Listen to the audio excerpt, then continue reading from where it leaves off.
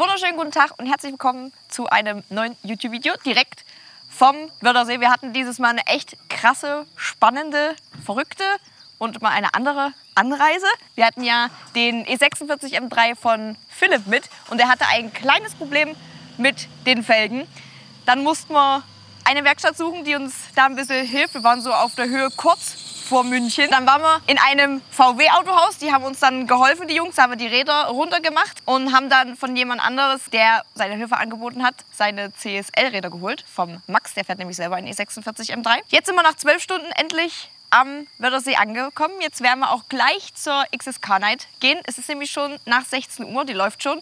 Mitgenommen habe ich die zwei Autos. Der E36 ist ja leider nicht mitgekommen, weil der noch das Antriebswellenproblemchen hat. Deswegen habe ich mitgenommen den M4 und den E46 M3. Ich denke, E46 M3 macht eh mega Bock hier wieder, wenn wir mal ein paar Passstraßen fahren werden.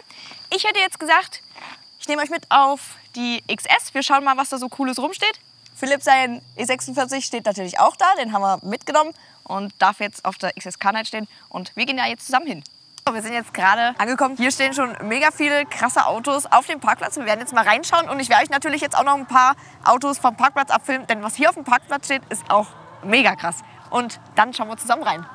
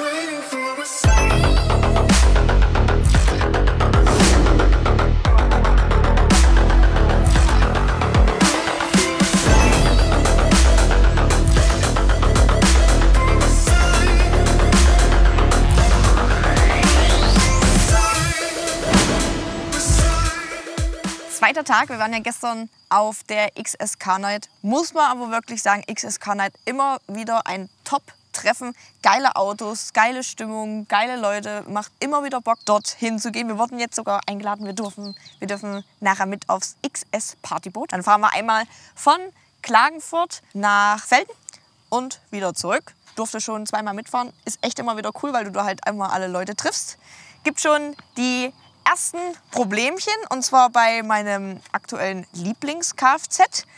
Bin gestern gefahren und auf einmal so beim Gas geben, wenn du dann doch mal ein bisschen zügiger fährst, macht es auf einmal. Und ich sag so, oh nein, was ist jetzt schon wieder los? Ja, Maxi fragt, weil Max hat zum Glück seinen Tester mit angeschlossen. Nockenwellensensor. Jetzt haben wir hier in Klagenfurt, ist ein BMW-Autohaus, haben wir uns einen Nockenwellensensor bestellt, machen den morgen rein. Ich hoffe, das war das Problem.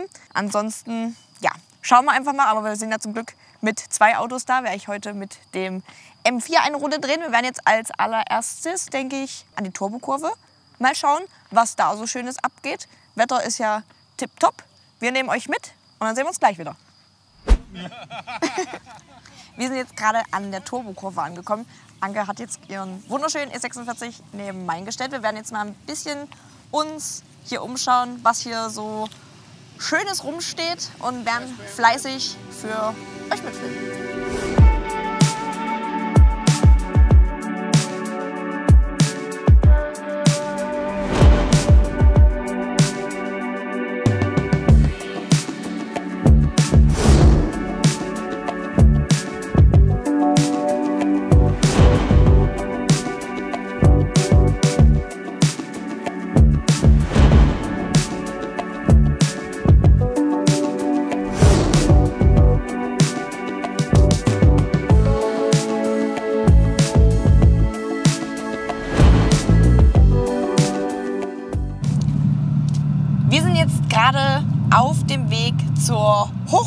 Hochalmstraße. Wir haben nämlich Bock, mal so ein paar Bergpässe zu fahren. Wir sind gerade nur BMWs, doch ne, zwei Audis sind noch dabei. Zwei Jungs aus meiner alten Heimat sind noch dazu gekommen. Ich bin die Hochalmstraße hier noch gar nicht gefahren. Die ist ungefähr anderthalb Stunden vom Wörthersee entfernt. Wir werden jetzt einmal hochfahren und euch mal so ein paar schöne Eindrücke von dieser wunderschönen Landschaft geben und euch auch mit hochnehmen. Bin gespannt, wie der Weg hoch so ist. Ich fahre ja gerne so Alpenstraßen, macht mega Bock. Leider nicht mit dem E46, weil der Nockenwellensensor erst leider morgen kommt. Fahren wir mit dem M4, auch nicht so wild, macht auch Bock.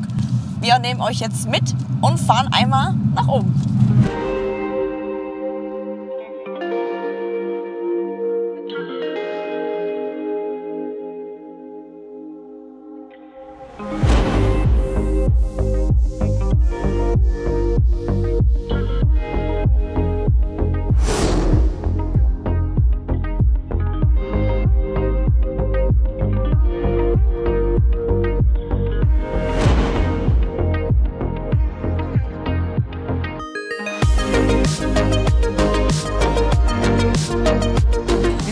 Gerade oben angekommen. Schaut euch mal diese geile Aussicht an. Hier schön die Berge, dann habt ihr zwischendrin immer so herrliche Wasserfälle. Ich muss sagen, ich liebe Wasserfälle. Wenn jetzt hier so richtiger Wasserfall-Spam kommt, ist wegen mir, weil ich einfach Wasserfälle toll finde.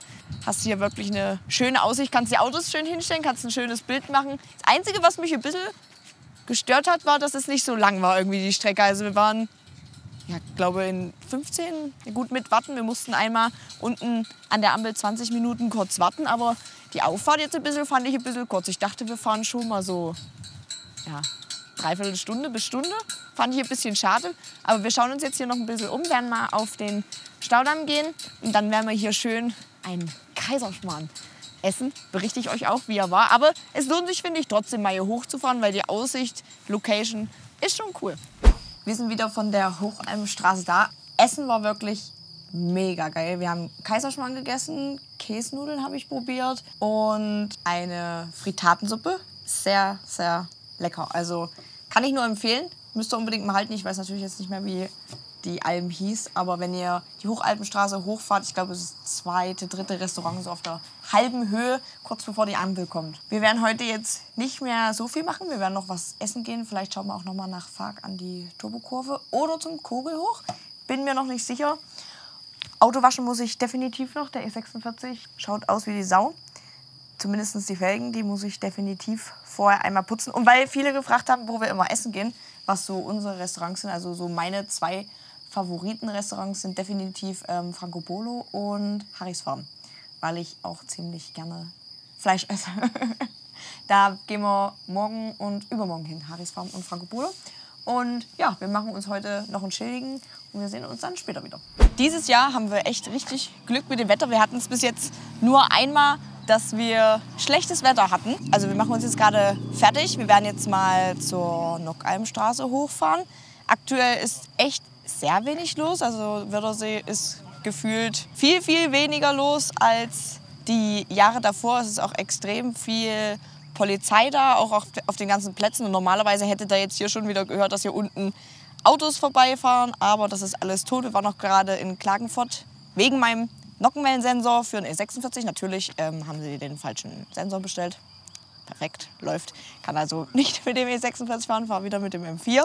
Wir werden dann nachher mal zur Turbokurve gucken, weil das ist jetzt so der einzige Platz, wo so noch ein bisschen was los ist. Auch Mischkulnig, wo sonst immer viel los war, ist gar nicht. Deswegen fahren wir jetzt auch ähm, raus, fahren zur Nockheimstraße, fahren da ein bisschen Bergpässe und nehmen euch wieder mit.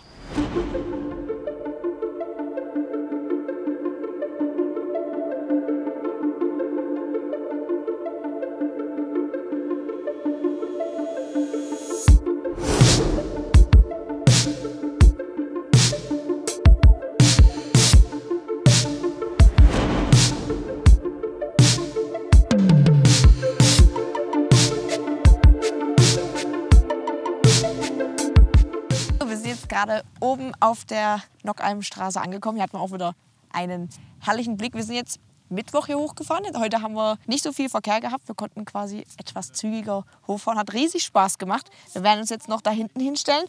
Wer das Video geguckt hat, wo wir die Mädels zugemacht haben, da standen wir auch genau dort hinten und haben unsere Videos und unsere Fotos gemacht. Da werden wir uns jetzt hoffentlich auch noch mal hinstellen und ein paar Bilder machen.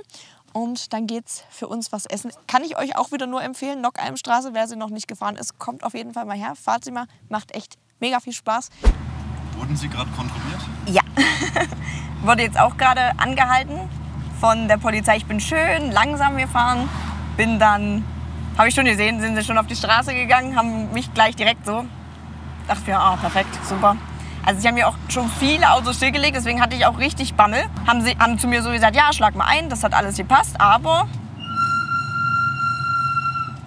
da waren sie schon das erste Mal stutzig, weil meine Bremse ja so quietscht und ich die guten ähm, Target-Bremsbelege drauf habe, die sich anhören, als wenn ja, ein Zug einrollt in den Bahnhof. Musste dann reinfahren, also sie haben dann so ein Tor für mich geöffnet, da durfte ich dann mit einem E46 Wir blenden wir blenden es mal ein, würde ich sagen. ja, durfte dann in das Tor reinfahren und dann haben sie sich mein Auto angeguckt. Dann ein Polizist hat mich noch richtig gedisst.